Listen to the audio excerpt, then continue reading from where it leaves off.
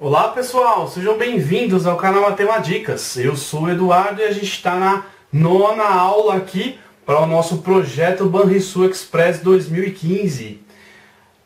Esse projeto é comigo e mais três amigos do YouTube para que a gente detone esse edital até o dia da sua prova. E para quem não está inscrito nesse concurso também vai acompanhar as questões aqui, que as aulas nada mais são para a parte de matemática e raciocínio lógico que resolução de questões, ok?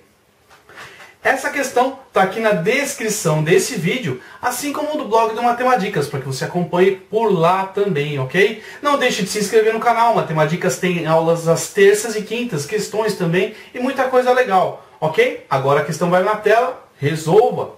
Pause o vídeo, resolva e depois acompanhe. E aí, entendeu essa questão?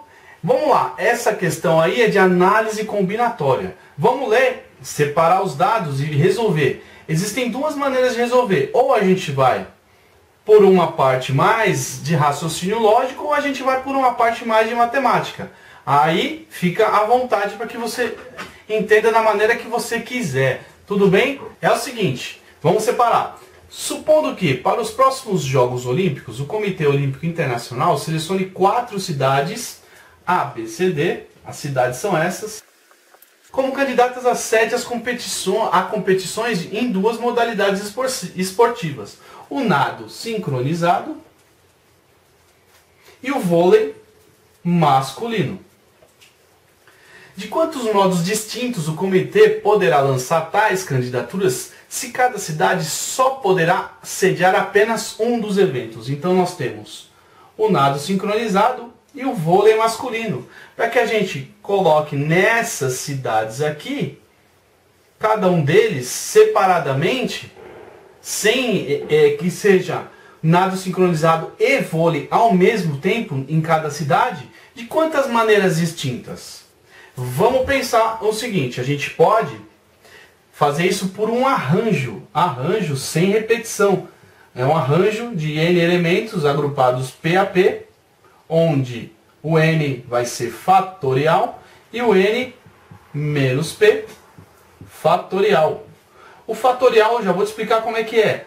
O nosso n, eu vou colocar aqui, o nosso n é o número de cidades, número de é, quantitativos de cidades que a gente vai poder escolher para as duas aqui.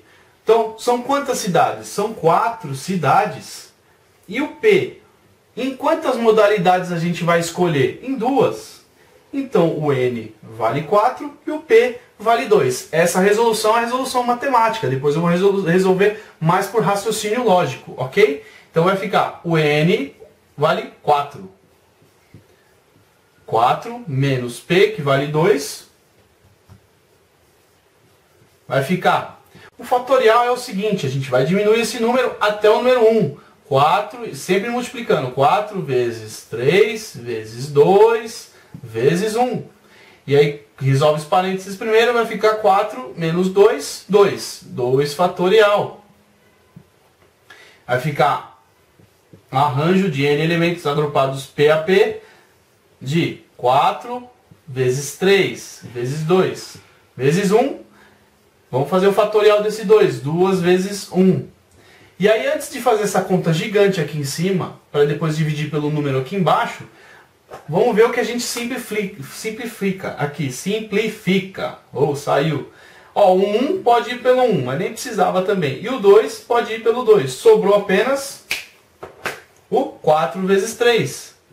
E o 4 vezes 3 é 12. Então, de 12 maneiras a gente pode distribuir essas quatro cidades nesses dois esportes aqui, sem repetir eles. Então, isso está na alternativa C. E a resolução um pouco de raciocínio lógico é o seguinte. Vai ser um pouco mais rápida. Presta atenção aqui. Nós temos dois esportes. O nado sincronizado e o vôlei masculino. Quantas cidades nós podemos colocar aqui no nado sincronizado? São uma, duas, três e quatro. Então, quatro cidades. Mas a cidade não pode se repetir no vôlei, certo? Então, se a gente já usou uma cidade no nado sincronizado, quantas sobram para a gente usar no vôlei? De quatro, a gente já usou uma, vão sobrar três. E aí são 4 vezes 3, são as possibilidades. 4 vezes 3, 12. Ok? E 12 está na alternativa C. Ok? Essa resolução é um pouco mais de raciocínio lógico. E essa resolução é um pouco mais ligada à matemática. Ok? Se você não entendeu esse vídeo, volta e qualquer coisa deixa aqui nos comentários a sua dúvida. Tudo bem? Vamos resolver a próxima questão? Espero que vocês estejam entendendo. Compartilhe esse vídeo, dá aquele joinha e vamos lá, porque o Banrisul está aí e a gente vai detonar ele. Muito obrigado e tchau!